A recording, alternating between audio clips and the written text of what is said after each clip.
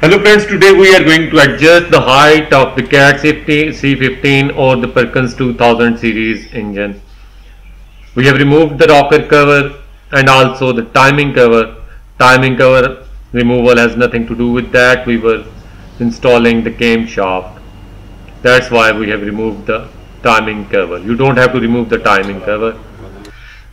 This is the timing bolt, the upper one in the manual but we have lost it. And that is the dead plug. We have to remove where we have to insert the timing bolt or a screwdriver or allen key. That is the hole for the turning tool. And that's the mark we have made on the alternator and the fan to make sure that we can rotate it rotate it 360 degree when this mark matches it means that engine has taken the rotation of 360 degree. That is the timing tool from cat. It can be used on cat c15 or perkin 2000 series engines. Insert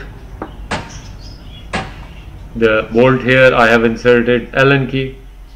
And now i am going to rotate the engine with the help of a ratchet. Rotate the engine in the direction of the rotation of the engine keep it rotating and when the Allen key or the timing bolt locks with the flywheel check that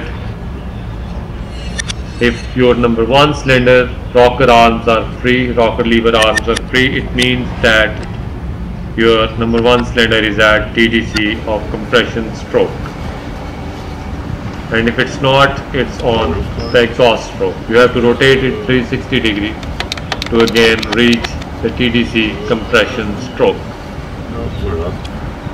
Now you can adjust the rockers the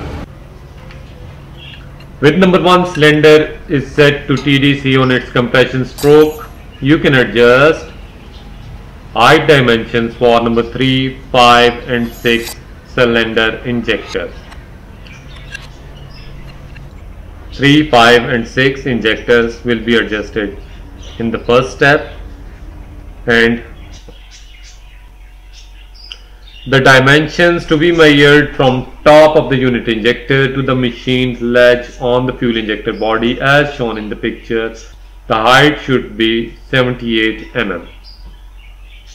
Here you can see the machined ledge on the body of the injector from this point you have to adjust it from the top of the unit injector to the machine ledge of the fuel injector body.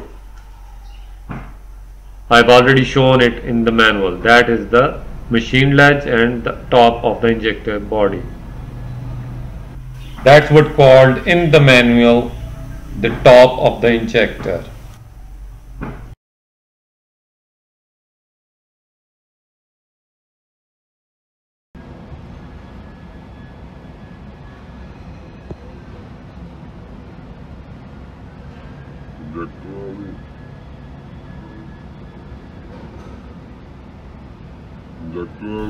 Now we have started adjusting it with the cat original tool.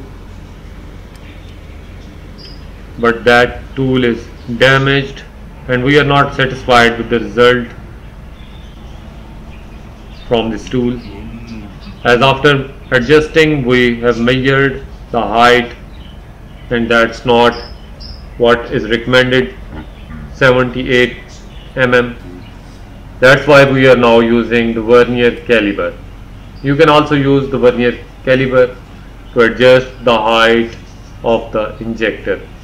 Place the lower side of the vernier caliper on the machined ledge on the injector and upper side of the vernier caliper like this onto the body of the injector now on the second round we will adjust number 3 5 and 6 in the second rotation rotate after rotating the engine 360 degree we will adjust 1 2 and 4 injectors. The number 1 number 2 and number 4 will be adjusted in the second round. Number 1 number 2 and 4 I am telling you the sequence of the adjustment according to the manual. You have to do the same as it is the manufacturer recommendation.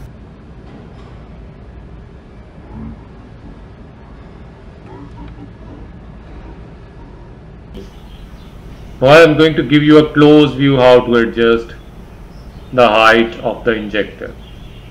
Here you can see the measuring end of the vernier caliper has been placed on the machined ledge on the injector and that side is also used to measure the depth.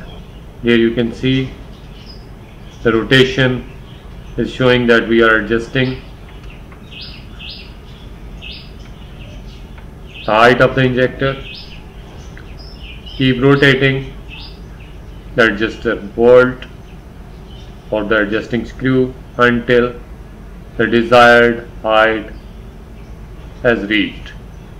Feel the slight drag on the top body of the injector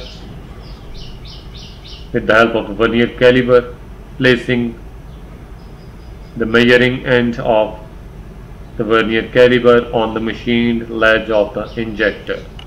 Remember we are using the measurement of 78 as mentioned in the manual.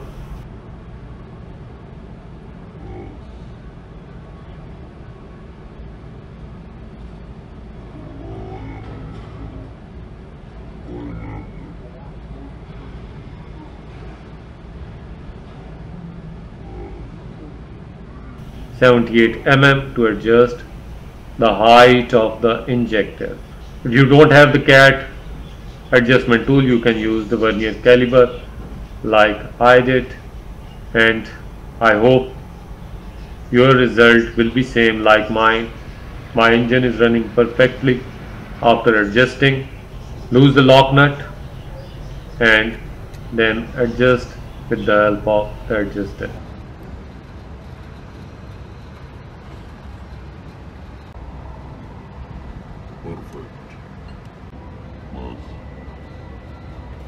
After the adjustment process of the injector's height has been completed, we are going to install the wiring harness on Perkin 2000 series engine. The wiring harness of the injectors.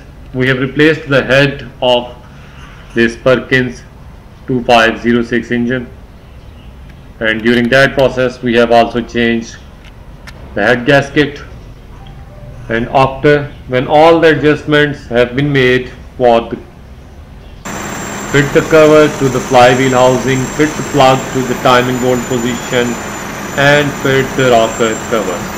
After completing all mentioned steps, we have started the engine and it's running smoothly and perfectly and we will put it on the load and see the results Please like, subscribe and share the channel for more videos like that.